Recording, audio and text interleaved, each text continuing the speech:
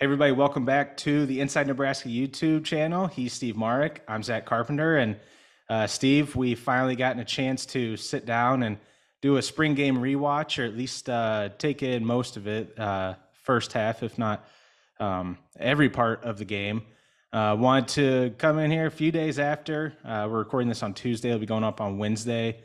Um, just to sort of get uh, final thoughts, reactions, and obviously overreactions, because we all know the spring game is the most important thing that is going to tell us everything we need to know about Nebraska in the 2023 uh, 2023 season. Isn't that right? I know you love, I know you love the spring game, and uh, that things like Bryce Benhart, if he looked good, then that was going to tell us everything we needed to know about his future. Um, so, what uh, what was your number one overreaction from uh, the spring game? My number one overreaction would be that Tony White's defense is going to be in the backfield quite often in the fall of 2023. I just uh, the aggressiveness was really fun to watch. Um, the confusion that the different fronts that the defense had, I think it confused Nebraska's offensive line and and uh, Tony White's defense kind of won a lot of reps on Saturday um, and and did so with some TFLs some sacks, obviously. Uh, Uman Umanmielen, getting used to saying that last name. He was uh, in the backfield doing a really good job tracking down a really athletic guy like Jeff Sims. We saw Cam Lenhardt, another early enrollee true freshman, beat Turner Corcoran at left tackle, flush Sims out. Um, but then Sims kind of showed you everything that you wanted to know about him on that uh, certain play with uh, Lenhardt kind of scrambling out using his athleticism, feeling the rush coming to him and then bailing at the exact right time. That was awesome to see. I thought, I mean, you're going to talk about a little bit more with Jeff, but um, he was really impressive. I really liked what I saw from him. But uh, overreactions, Tony White's defense, uh, the aggressive style, it's going to be in the backfield a lot, I, I think, during the season. And that's kind of fun to think about very similar to last spring game's overreaction, right? When Garrett Nelson yeah. had all the sacks, and uh, it was like, okay, this uh, Garrett Nelson and this Nebraska pass rush is going to be fearsome and lethal in 2022, and um, that didn't play out as quite as anticipated. So yeah, obviously we're being a little facetious that the spring game does not tell us uh, everything that we need to know about uh, yeah about this yeah. team. I, yeah, I want to get on record that like this is just an overreaction, and I understand how last year's spring game went. Uh, Garrett Nelson looked like an All American uh, getting back there, and so you know, if the defensive line is getting the backfield a lot, that doesn't really necessarily mean good things about the offensive line. And so I'm well aware that, you know, if two true freshmen are in the backfield a lot, that doesn't uh, speak well in regards to the offensive line. But, you know, whatever. I, I am not letting that take away from the good the good um performances from Princewill and Cam. Um and throw Maverick Noonan in there too. Kai Wallin, two new faces as well. Um so it was just I don't know. It was really fun to watch the defensive front. I I, I think um, that's basically what I'm trying to get at. Yeah, and with all that in mind, that the spring game does not tell us everything. Um, I I, th- I do think it does tell us a little bit, but uh, my number one overreaction is that Jeff Sims is the no doubt QB one going into uh, the fall that they'll have for the fall. Which, um, no, he's not the no doubt quarterback number one. He's not the no doubt starter, but I mean I felt going into the spring game that uh, after 14 spring practices, that uh, my inkling was that Sims had become the betting favorite, the front runner. Um, but we're not counting out. We're definitely not counting out uh, Casey Thompson in that race. But uh, what I thought he showed Saturday, our first chance to really see him throw, because in the open practice sessions, um, like 30 uh, 45 minutes, I think the first one, and then uh, three more. It totaled about 100 minutes of open practice time throughout the spring. But throughout that entire time, the only time we saw the quarterbacks throwing uh, was on these play action rollout drills, um, and they're just short lob tosses, uh, mostly of the running backs or to their fellow quarterbacks. So we didn't really get to see them throw until until Saturday. And I mean, without Casey Thompson there, um, it's clear that Sims is obviously far and away above the others on the roster in terms of uh, um, in terms of the depth chart. And he finished nine of 13, 138 yards, 130, 139 yards. Uh, he also had a rushing touchdown, and that he had some highlight plays, um, like the one you talk about, spinning out of that sack from uh, that likely sack from Cam Lenhardt. Um, had a couple other uh, a couple other nice runs, a touchdown I mentioned. Um, he scrambled for another first down um, or close to the sticks. And I mean, his first throw, that 38 yard strike to Nate Boerkircher, it wasn't the throw was not in a tight window, but like you rewatch it as a post route and it hit Boerkircher literally perfectly. Like, I mean, right here in stride, like right in the numbers. And that allowed him to rumble for another 20 yards down the field. He had that, uh, he had a 15 yard pass to Kemp, um, to Billy Kemp. And on that was on successive plays. That was the second play. The first one um, was sort of uh, so, something we saw in during those spring practices where we sort of observed like, oh, the play action play action on stretch plays is going to be uh, something that that was something they were working on a lot, and we saw that on a 24 yard throw to to Kemp, um, where Sims stretch play, play action, uh, long developing downfield passing play, and um, he threw it to what was who was a wide open Billy Kemp for uh, for 24 yards downfield. Uh, and even, I mean, the accuracy is what I was looking for with Sims. Like the number one thing I was looking for out of him, along with his just sort of processing and uh, progressing throughout a throughout his reads and his and the plays. And I mean, on that first drive after the throw to Boerkircher, they they took a first and ten shot play um, on a go route down the down the right sideline to Sean Hardy, and uh, throws a little bit off, but um, mm-hmm. it was still it was it was right there. And I mean, I'm not trying to sugarcoat it or spin zone it, but I mean, Sims did put it in a place where it's either going to be a touchdown or an incompletion, and the coverage is one on one coverage is pretty tight. And uh, I mean, Sims put it in the place where his guy's either going to make the play or they're going to get uh, another um, another shot on second and ten, like I said, on one of those shot plays, but overall, yeah, I thought Sims looked. Uh, I thought he looked pretty good. Um, and Matt Rhule's said that exact same thing. He looked pretty good, and he was pretty impressed with him. Um, but Sims, I don't know if you have any final thoughts on him. I know, yeah. I, I, know you're going to be. I know you were impressed with him too, but probably um, a little more balanced, or not balanced, but a little more take a step back. I guess I don't know than I am. Yeah, I uh, wanted to see the accuracy, like you said, and you mentioned the the um, completion to Nate Boerkircher up the seam. I really loved that. Like that's not an easy throw because you have to get it over the second level linebacker and you have to get it in front of the safety. And Jeff did that on that on that play. He the pass was right over the top of whichever linebacker. It might have been John Bullock's outstretched hands, and he just dropped it right in that bucket and that was a really really good play. And after the game, I asked him about it, and he said that he that's one of his throws that gets him comfortable and in the zone and in a rhythm. And so maybe that's something that we can look forward to in the fall if he is the starting quarterback. My, uh, Marcus Satterfield dials dials something up like that to get a get to get Jeff a big target like uh, Nate Boerkircher, the six five tight end, run him down the seam, and boom, he's right there. He could throw Thomas Fidone in there as well, maybe Arik Gilbert. I don't know. But the two other completions I want to talk about was his 19 yard. It was so it was in the second quarter, and Nebraska was in 12 personnel. They had two tight ends out there, and up front on the offensive line there was like a counter run action. So they pulled the right guard and they pulled Janiran Bonner, who was the tight end, the number two tight end on that side. They pulled them around, and that sucked in the defense.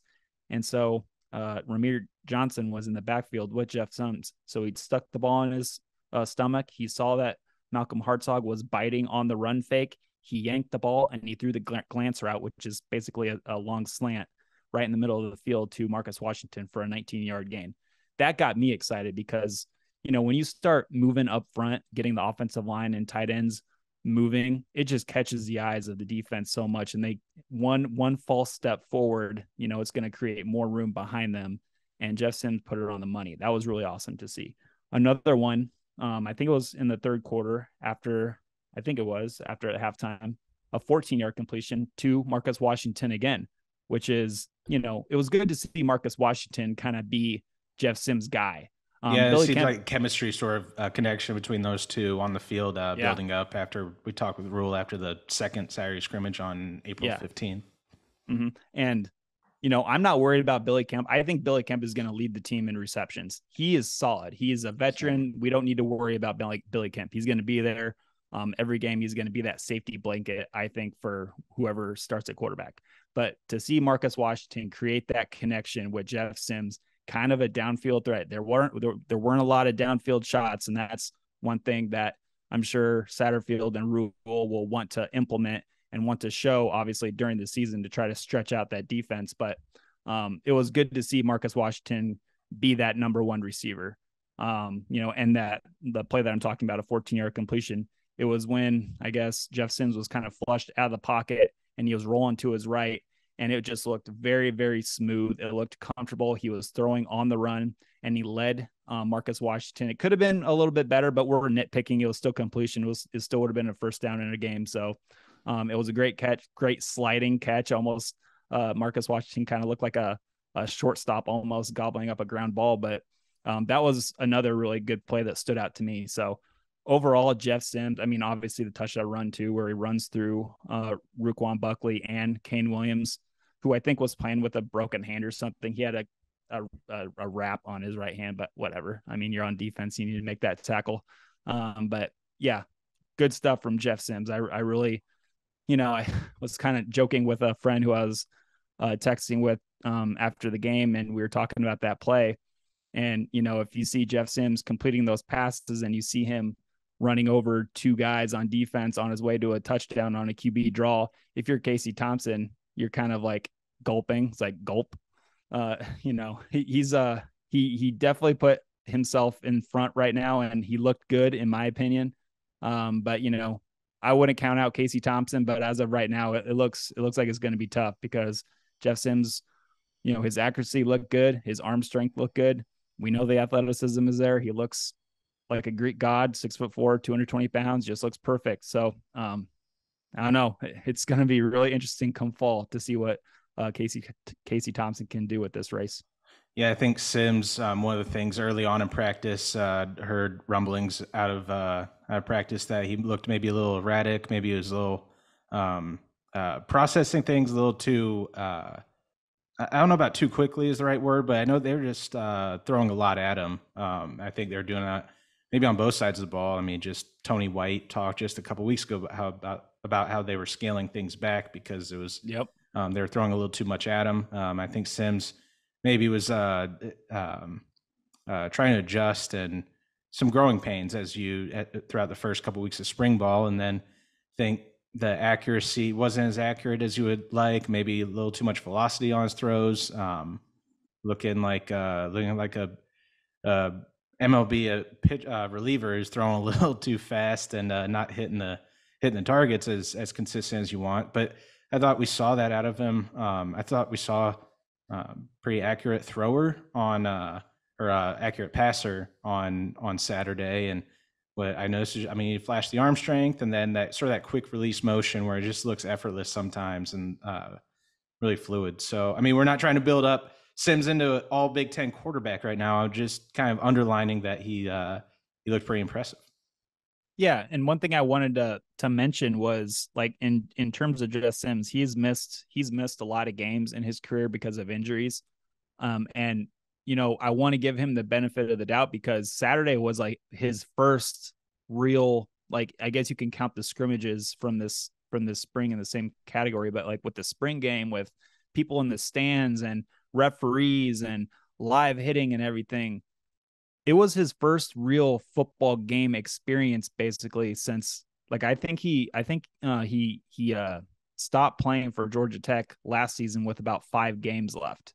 And he uh didn't play around the, the final 5 or 4 games. You're going to have to check me on that, but to nurse his injury and, and then he just kind of called it a career there and entered the portal because he knew he was leaving. But so it's been a long time since Jeff Sims has stepped on a field as the guy leading an offense. So it's like I want to give him some grace. That was his first time being out there in a long, long time, and coming coming off a, a, a foot injury, I think it was at Jaw Tech. So, you know, Jeff Sims is stepping into a new environment, a new program, a new offense, new coaches. Everything is new for this cat right now, and I think that once he just gets more reps, um, you know, he's going to just get more comfortable and more comfortable. And Saturday was an excellent first step.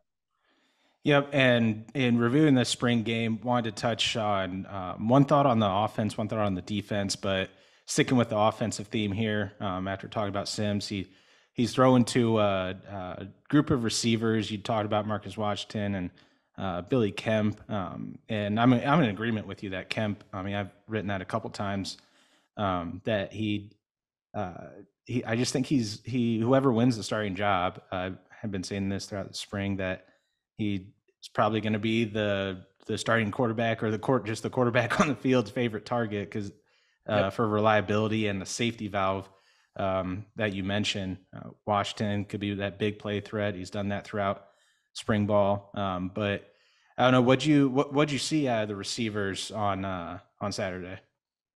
Well, I like I like what uh, Marcus Washington. I would have wished he would have got a little little more more targets, I guess. But um, he was good. But outside of him, you know, I, I don't know if there was a whole lot there, and that leads me to think that, you know, come fall camp, come the summer when the entire roster gets here as like the 2023 guys, you know, there's going to be every opportunity in the world for those guys like, you know, Malachi Coleman, my favorite guy, Jaidyn Doss, who I think is is gonna is capable of I don't want to say Malachi is not capable, but I think Jaidyn Doss, you know, just from watching his film, how he runs, how his body is built already. It looks like, you know, he's he's almost 200 pounds, I think, at six foot when he gets the ball in space, he runs like a running back because he is a former running back. He did a lot of different things at his um, high school offense, lining up in the out wide in the slot at tailback.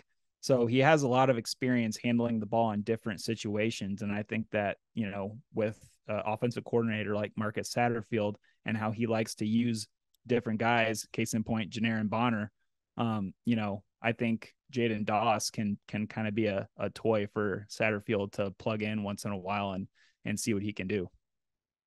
Yeah, and then my uh, my take on the offense, or what I kind of, the point I wanted to uh, to talk about is is that running back room. I know we talk about all the time, and don't have a ton of new information for you. I think uh, it's been the same way throughout uh, throughout uh, pre spring and throughout spring ball and Saturday's game. Um, I think EJ Barthel has uh, has a lot of really good options in there. I know the staff loves their loves their room and what they have. And I mean, at the top of that depth chart, you have three guys in Gabe Ervin Jr., Anthony Grant, and AJ Allen, um, in addition to Rahmir Johnson. Uh, and all of the all all three of those guys, really all four of them, they bring something different to the table. And just something that crossed my mind is is when it comes uh, time for the fall and that the depth chart releases. Um, I'm I'm kind of thinking that we're that there's a chance that we could see that that all caps or next to all three of those guys to designate the starter, Gabe Ervin or Anthony Grant or AJ Allen. And I mean, does it technically matter who's listed as a starter? Probably not, maybe not. Um, but I, I just to, it's sort of just underlying the point of I'm not sure. Maybe Anthony Grant is does wind up being the bell cow, but I don't I, I kind of don't see this offense having necessarily a, a, a, bell cow back in it. I think um, I think we could see a healthy rotation among them, and that that was sort of I, I, thought we saw some of that on on Saturday when I mean you have Gabe Ervin, um, that stiff arm run. He has he has he has the physicality. He was the first back out there um, on the on the first series, but him and Anthony Grant were rotating in pretty uh, frequently from what I from what I saw. And um, I mean, Ervin like I said, he has that physicality and he's fast. Anthony Grant, I just uh, I think if he continues to improve, I think he did a little better job. If he continues to improve of not doing the dancing and juking around and just powering through and getting that four or five yard run instead of just instead of it winding up being a two yard run and then you have the home runs mixed in with it. Um, I just I don't know. I think they have a pretty well rounded group. I don't know your thoughts on the running backs. Yeah, first thing, first thing, I want to go back to what I said about the injury situation with uh, Jeff Sims. So I did find it. He started all ten games in 2020, which is his freshman year. Then he played in seven in 2021. Then I was right; he missed the final five games of the 2022 season. Okay, running backs, Husker running backs. Um, yeah, I just wanted to. he wanted to be buttoned up. You never missed the. Well, yeah, I didn't want somebody to be like, "Oh, well, I heard Steve Marik's like blah blah blah," and then he uh, ended up missing only two games. Or but yeah, it was five. You anyway, know our uh, commenters. You know our subscribers. Yeah.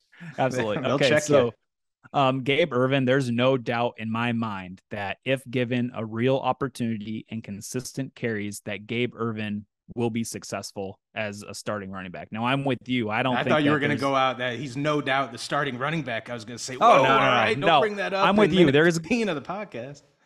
I'm with you. There's going to be some oars on that depth chart for sure. Basically all season, I bet. I bet. I bet. You know they're gonna they're gonna look at the running back room. They're gonna see all the talented guys in there, and they're gonna want to use them use them in some ways and and rotate those guys and keep them fresh. But you know some some people around here are not very high on Gabe Ervin. I don't understand why he's had a tough career so far. You you can't not mention his injury situation. You know the the the you know his true freshman year. He was the very first uh, true freshman to start at uh, running back at Nebraska in the modern era. You know, you don't just walk into a program as an 18 year old and do that. You have to have something to you. And I think he has that inside of him. And just listen to the guy talk. He's like a freaky level of like, um, just honed in and his mindset is almost like scary that like I don't want to like run into you in a dark alley or else you're gonna like beat me up. Um, he was like, that's, that's uh, so what, in the post game press conference, Rhule was talking and Ervin was yeah, over there. He was, was sitting funny. down waiting over on the side, and I I had the angle from uh, uh, looking at the front of Ervin. He just he was just sitting there. He looked like he was like like just he was on his phone, Rhule, like he was just yeah. Rhule was talking, and uh, Gabe Ervin was just sitting sitting over there waiting for his turn on on his phone, looking at his phone and he just like looked pissed off and it was like not smiling or anything. And Rhule looked at him and was like, "Are you all right?" And yeah, he's like, "Are yeah. you happy?" I think he's happy. he's are like, you happy? Are you all right? Are you all right? like, yeah, it's like let's give that guy the ball on like third and two. Um, but yeah, he's look at his look at his physique, how big and strong he is, how much he's developed since his first year here, and he just hasn't had an opportunity to be a consistent part of the running back room because of the injuries. Last year, he had a turf toe that knocked him, that sidelined him for a little bit. Um, he just hasn't had a smooth, a smooth runway, one runway to get going. And I just think when he is out there, just go back and watch watch his games when he is out there. Like last year at Oklahoma, he ran so pissed off, and it was really fun to watch. He was like, and I know that came in in garbage time after the game was decided, but he was still wanting to show the coaches that like, hey, I am here, I am ready, give me the ball, and we can like do stuff. So I don't know. I just think if if if Gabe Ervin can finally get a real opportunity, get some carries, not always be looking looking over his shoulder, I think he'll impress. Now again, I go back to the Orr situation. There's a lot of talented guys. Um, AJ Allen, Anthony Grant, um, Rahmir Johnson might might find his way in there. Um, you know, there's going to be some oars and there's the the carries are going to be uh, delegated out. So, but I, I, don't know, man. I'm really high on Gabe Ervin. I hope he does well. Yeah, and then shifting to the defense, um, just uh, to sort of focus on uh, spotlight one thing um, from each of us about the defense uh, from what you saw. I mean, um, I don't know. I thought they were physical. I thought they got in the backfield, like you said, and uh, we'll see if that translates to the fall. But uh, number one takeaway or number one thought, whatever uh, you want to talk about on on the defense. I thought it was notable that the the first two corners on that first team defense was Quinton Newsome, no shock. But then it was good to see Malcolm Hartzog there because I know that Tony White gave him a shout out and he said we've been trying him at safety and we've been trying him at uh, slot nickel and everything come on, guys. Like as soon as as soon corner. as he as soon as he tried it out there at corner, like it hit me because I wrote about the when I previewed each position group. I said, who the hell is going to be the number one, number two corner if they're trying Hartzog out at safety in all these positions? He trots him out there. I just roll my eyes. I'm like, why the hell did I fall for that? Like, okay, like yeah, like Tony it White makes more. It being... makes a lot more sense for Hartzog to be the yeah. number two corner. Absolutely, like he like I know me. what Tony White was doing. Tony White was just like being a, a good coach and be like, oh no, everybody everybody's everybody can you know, we're going to give everybody a chance, and who knows, he might play over here. No, he's going to be a starting corner along with Quinton. You you won this round, Tony. Yes, Tony won that round. Um, but anyway, Nash Hutmacher, um, at, at nose defensive tackle, whatever you want to call him, he was moving around on the interior giving Ben Scott a lot of problems. Uh, that's a handful. Uh, Nash Hutmacher looks like a handful on the interior of the defensive line at Nebraska. He, I think he had a really good spring game. He was moving Ben Scott back multiple yards during some run plays, just taking him, getting his hands on him, extending his arms, and just pushing back. That's where you see the real power with Nash. So you know, it, he's he's going to be one to to keep an eye on, especially at Minnesota. Um, you're going to really want him out there to be that roadblock. Um, but uh, yeah, I, I'd say it was good to see Hartzog at um, corner opposite Quinton Newsome. It was it was interesting to see Um, are you going to talk about Corey Collier? We can bring him up. Yeah, I mean th- that was my number one. Um, Yep. Uh, maybe not not necessarily my number one takeaway, but just what the main thing I wanted to talk about uh, defense wise is um, like the three starting safeties were, um, or at least for that first that first series, were Corey Collier, uh, boundary safety, Isaac Gifford, the mill safety, um, and the field safety, the free safety was uh, was Omar Brown. And Omar Brown's less surprising, but um, Mhm. Corey Collier didn't hear much until I think the last uh, media availability or se- uh, second to last of spring ball. Um, and so I, out of I- everything on Saturday, out of everything on Saturday, Corey Collier was shocking to me. okay, yeah, that uh, like he popped up and like I don't know, No one mentioned Corey Collier. Like Yeah. hardly his name was hardly brought up. and I don't know if that means if the I mean Myles Farmer at the Rover at middle safety. I think I don't know. You know more than I do about the middle safety Rover. I don't know if it's the same or similar role, um, or middle safety is a nickel. Um, but because Gifford was at the middle safety, uh, and so I think it's- it's the guy that you know when they when they rotate the when however they want to configure the linebackers. If they like move one of them up to the line of scrimmage, you kind of want to replace and put another body in the tackle box, and I think the Rover is going to be that guy. So that's that would make a lot of sense with Isaac Gifford because he's a solid tackler. He's got some good size on him, so that's why we saw um, Isaac Gifford there. Yeah, so I think I mean Myles Farmer. I mean, I thought I expected him to be out there with the the one the number one defense. So maybe it means that um, he's playing behind Gifford a little bit. If if it, it is true, what we think would be the best uh, uh, role for for Farmer is more of an um, uh, closer to the box in box safety Mhm. and uh, sort of rover. Like I mean, he's just he can hold up. He he can hold his own in pass coverage, but it's it's obviously not his number one strength. Um, despite Tony White again trying to trying to um, pull an over on us to say uh, Farmer's been working at, uh, with the corners because of that length. But um, yeah, pass coverage is not his his number one strength. His number one strength is in the is I think being closer to the line of scrimmage or being in that box and being more of a physical run stopper. So maybe that's what that means. Um, but uh, yeah, Corey Collier out there was uh, was pretty surprising to see. But um, who knows? Who knows going down the line if uh, if it means something, nothing, or everything uh, as we go into summer workouts and we go into fall camp. So. Uh, speaking of that, just to sort of wrap up here, the last thing I wanted to talk about, um, just uh, just a spring game wrap up. Like one final thing that uh, that caught your eye, caught your ear.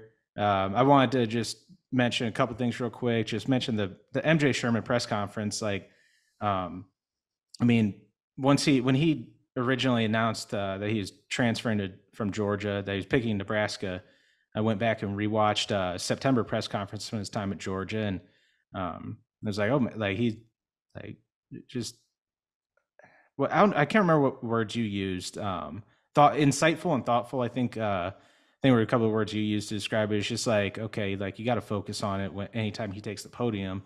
Yeah. Um, And then he did. He had one interview, one uh, press conference during spring ball, and then um, he spoke after a Saturday spring game. And every every time you see him talk, he's just very intense and serious.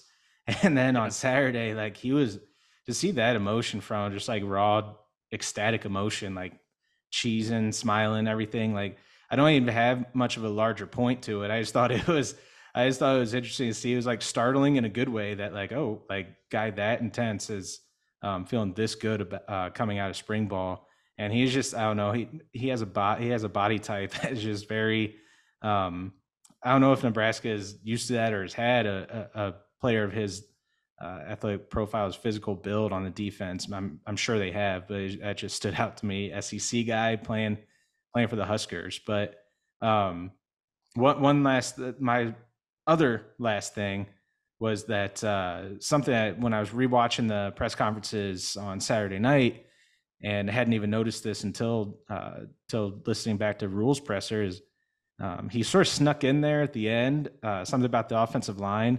Um, I mean, I think we've been saying it. I think a lot of people think that they could they might be going after uh, offensive lineman in the portal. Maybe defensive lineman probably could use uh, O lineman or D lineman in the portal, but Um, when he's asked about the offensive line depth, I want to read the quote. He said, I don't think there's getting any more depth, right? I mean, we have the players we have, and we have some guys coming in. We're going to coach them up, so we're not thinking about anybody other than the guys on our team, which maybe it could mean that they're not going to go, be going portaling. Maybe I don't believe in that Rhule. yeah maybe it's uh maybe it's uh, uh um maybe we shouldn't be reading too much into it but um He was very I think it was- about never turning away an offensive lineman and and if they think that it would be a good fit. I mean, there's going to be some guys that they're going to kick the tires on in, in the transfer portal, portal right now. An offensive line, they need depth. They had they are so young behind the starting five right now. They need more depth. They need more experienced guys. Now I know the guys in the transfer portal on the offensive and defensive lines. They aren't gold. They aren't going to be all conference caliber, but you can find a, a quality backup that that can give you a few reps if one of them happens to go down during a game. I, I truly believe that. So if there's a if there's a name, Matt Rhule is going to go after him for sure. So when I hear that in the post game press conference, I'm just going to say it right now. I don't believe you, Matt Rhule. I don't believe you one bit. he's gonna clip that he's gonna be pissed at you We No, he's not. he's He's, not going to listen to this. I really hope he doesn't listen to this. Yeah, maybe he could get some ideas, and then he could say, "All right, well, we're at least we could hear that. We're going to do the exact opposite of what these two Yeah. knuckleheads are saying." Yeah. Um, but any, in case Matt Rhule's uh, listening, uh, watching, listening on the Inside Nebraska YouTube channel, Steve, what what would you have to uh, to tell him or or the rest of the audience about uh, um, about the Huskers coming out of the spring game? What's the one last thought?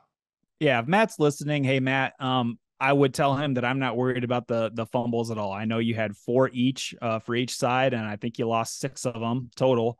Um, but I'm not worried about it because you're going to have more fall camp practices, and those are the things that you clean up in fall camp. I'm not worried about the fumbles at all. I know a lot of people made a big deal about ball security, and the coaches really hone on ball security. That's all they really talked about. Marcus Satterfield talked about. Mark Matt Rhule talked about. He said he, I mean, you could tell that Matt Rhule has a deep disdain for fumbles, and I respect that um, because Matt Rhule is an old school football guy and he just can't stand fumbles. But I don't think they're going to be that bad during the season. I just think it's that's something that's going to get cleaned up in fall camp once they get more practices, more reps. They they understand who the starting quarterback's going to be, who the running backs are going to be.